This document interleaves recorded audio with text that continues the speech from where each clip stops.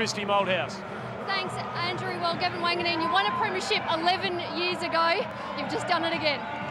Oh, look, uh, I'm getting on a bit now, and uh, to experience a winning grand final at the end of my career, words can't describe how I'm feeling now. And look, uh, it's so hard to win a premiership at that. So, well, oh, look, I, I can't really describe it. It's one of the best, obviously my best football memory, no doubt about it. And the family seem to be enjoying it as well. Your, your children are here celebrating. Great for a little Texie here to be a part of it. One day we can look back on it, and uh, it was a great team performance. And uh, you know, we were the underdogs. Everyone writ, writ us, wrote us off. I mean, there wasn't too many tipsters picking us, were there? So uh, we knew we had that inner belief, and we had that run in our legs. We got them, and thank goodness for that.